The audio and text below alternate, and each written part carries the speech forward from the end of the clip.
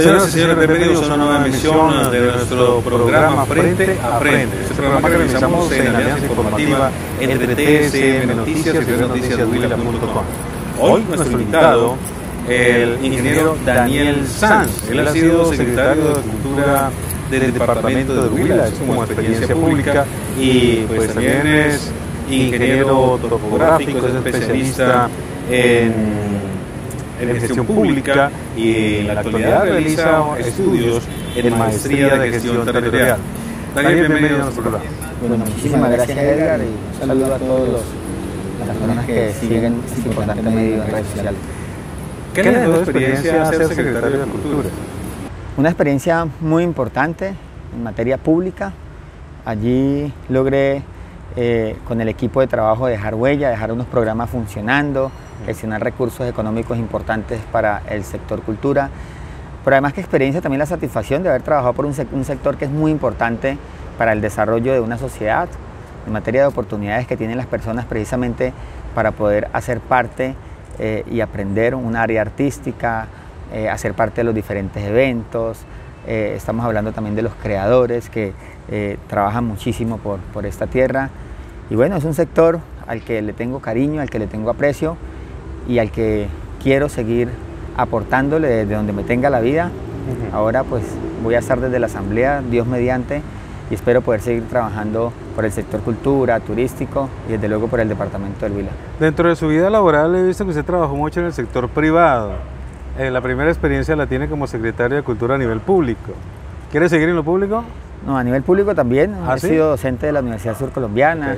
Trabajé como cogestor social del municipio de Neiva, un programa muy bonito que buscaba eliminar la pobreza extrema. Eh, también he trabajado en diferentes proyectos de vías en el sector público, pero también he tenido la oportunidad de gerenciar eh, una empresa privada del sector energético. ¿Y por qué se le dio por enlazarse a ser diputado? Bueno, yo creo que el departamento del Huila aún requiere muchísimo más, requiere de personas que con cariño quieran trabajar por este departamento, que tengan formación, que tengan experiencia, pero adicional tenemos que comprender los ciudadanos que quienes toman las decisiones más importantes de una sociedad son los políticos, por ende en los políticos recae la responsabilidad del desarrollo de un territorio y es por eso que precisamente venimos haciendo pedagogía para que la gente elija bien, elija personas decentes, elija personas que se les vea ese carisma y ese don de querer trabajar por el territorio. Entonces, si los políticos son los que toman las decisiones más importantes de una sociedad, pues debemos elegir bien, elegir a los mejores, a los que tengan mejores calificaciones. O sea, a usted le quedó gustando el tema cultural. ¿Puede decir que es como su nicho potencial electoral al cual usted quiere llegar o qué otro sector está trabajando? Bueno, en general hay algo muy importante eh, para que se desarrolle una sociedad y precisamente es el sector empresarial y desde luego el sector de emprendedores. Desde allí se desprende toda una clase de, líneas de trabajo que debemos apoyar como gobierno precisamente para que se pueda generar muchas oportunidades y mejores oportunidades acá en el departamento del Huila Edgar. Pero desde luego el sector cultural hace parte eh, de una pieza muy fundamental de la sociedad y precisamente es a través del arte se le puede enseñar a las personas a vivir mejor a tener cultura ciudadana.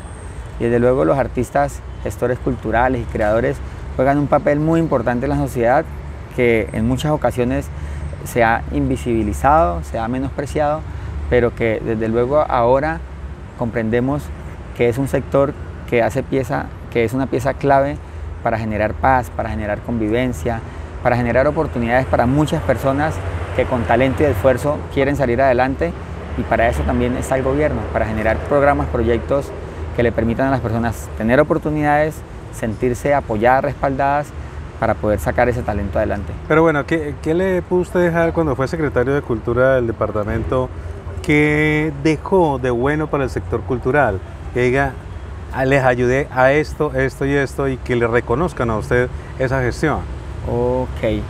Realmente yo encontré una Secretaría de Cultura y Turismo con un presupuesto muy bajo, un presupuesto muy ajustado a los programas que ya venían funcionando eh, y desde luego después de hacer un análisis comprendimos que faltaban recursos, logramos eh, gracias a, la buena gestión del gobernador, logramos incrementar ese recurso para la cultura en eh, cerca del doble, lo que permitió generar diferentes programas como el programa de estímulos, concertación, que son programas precisamente para apoyar el talento de las personas del sector cultural.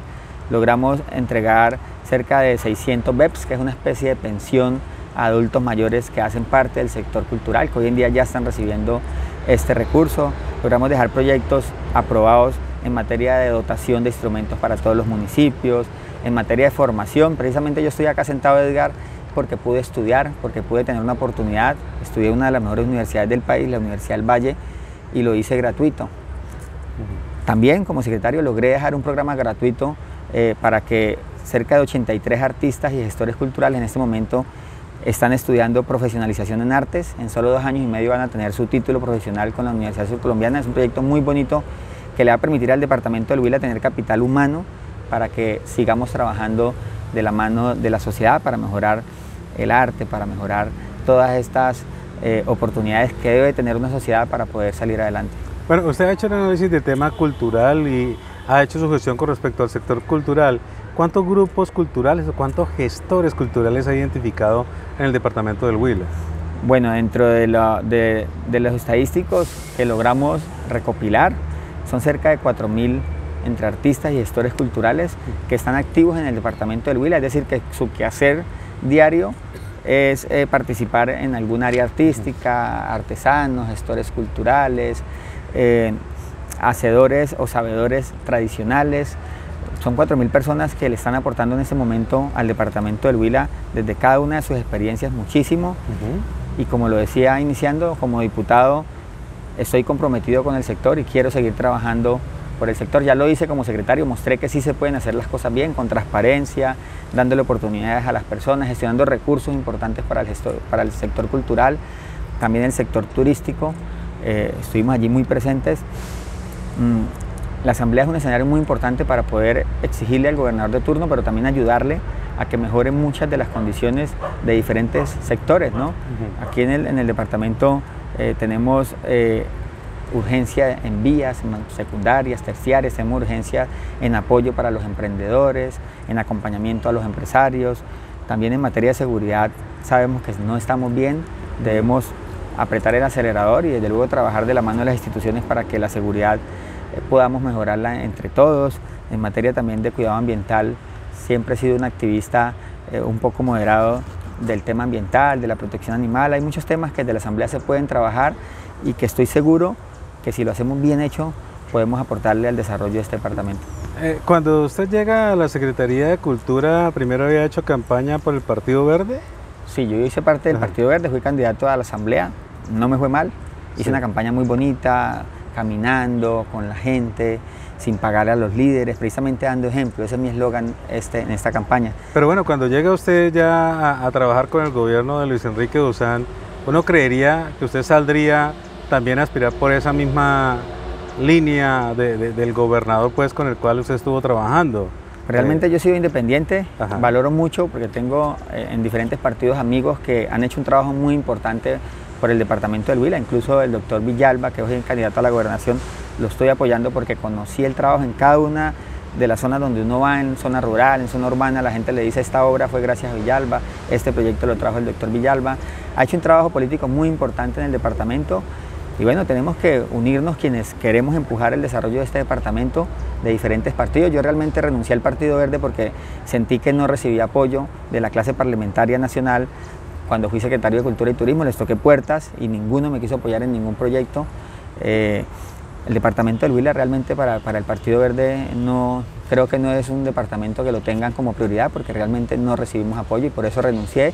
Ahora hago parte de la coalición Alma del Huila, en donde espero poder tener apoyo a nivel nacional para poder traer proyectos al departamento del Huila, ayudarle a los alcaldes municipales, al gobernador, para que precisamente podamos gestionar recursos, recursos que nos van a servir para impulsar el desarrollo y en eso he venido eh, insistiendo, haciendo pedagogía la única manera de, que todos salgamos adelante es que haya desarrollo en un departamento, de que haya más empresas, de que haya más oportunidades, porque realmente el departamento del Huila ha sido un departamento que del nivel nacional no lo han visto como un departamento importante y es hora de que los líderes que estamos actualmente poniendo la cara por este departamento, pues miremos a los ojos al gobierno nacional y decirle también que este departamento es importante. Aquí tenemos eh, mayor producción de, tilapia, tenemos mayor producción de café en calidad, tenemos producción importante en cacao.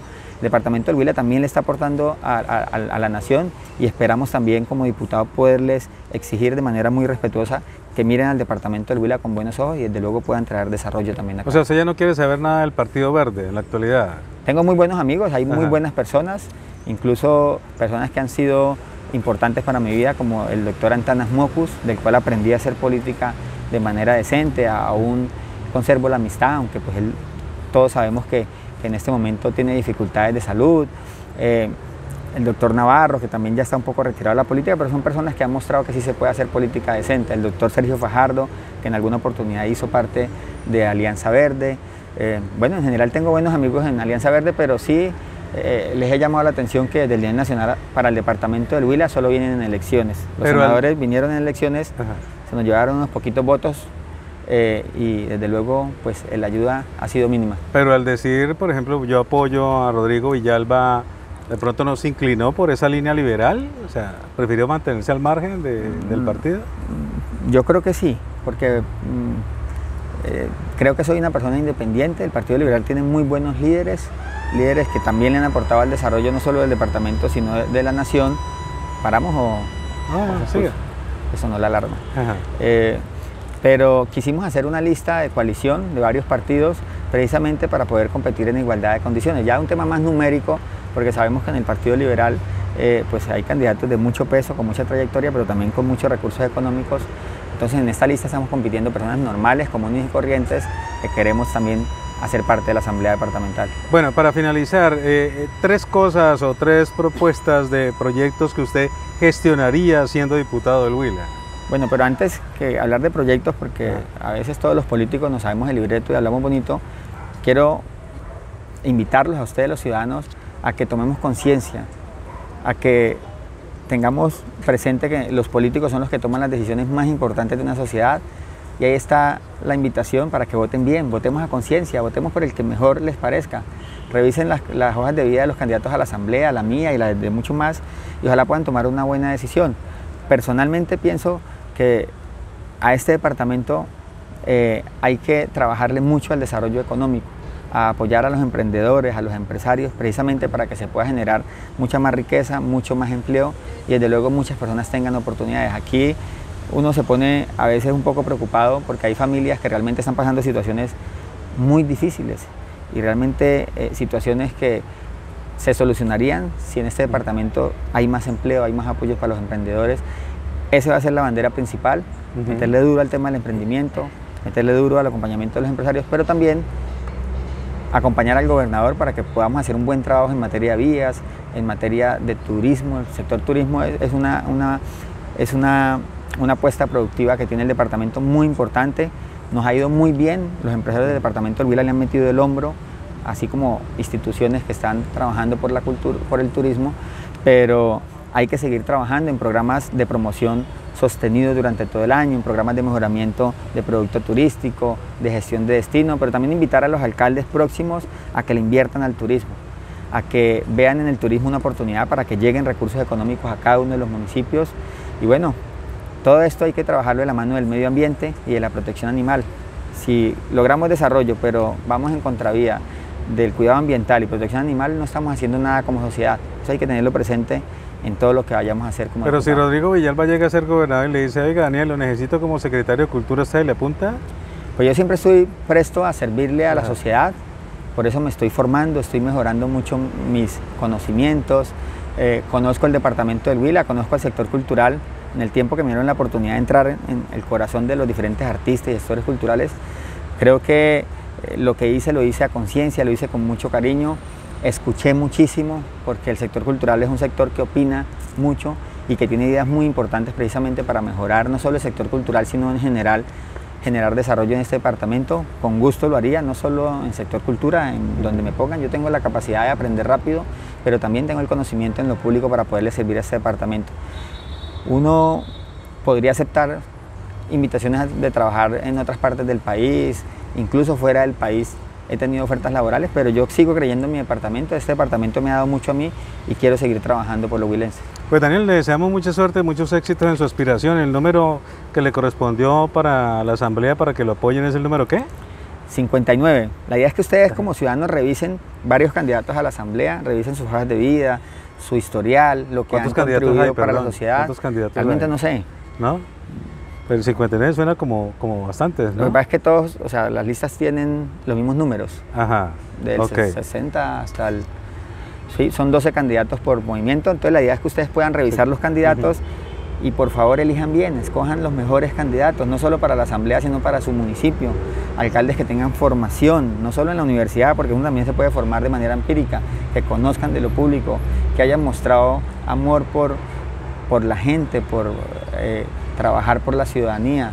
También elijan concejales que, que tengan buena hoja de vida, y desde luego a la gobernación también elijan bien. Personalmente yo estoy con el doctor Villalba, tiene toda una trayectoria, ha mostrado coherencia en su quehacer público y bueno, ahí vamos a estar desde la Asamblea representándolos a ustedes como huilenses.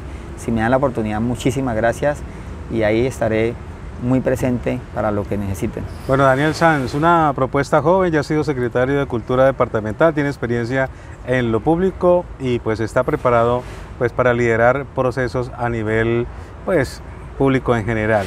Daniel, muchas gracias por estar con nosotros. Bueno, Edgar, muchísimas gracias por la invitación y a ustedes por estar presentes en esta entrevista, muy amables. A ustedes amigos, muchas gracias por acompañarnos en esta serie de entrevistas que realizamos con mucho cariño entre TSM Noticias y rednoticiaswila.com.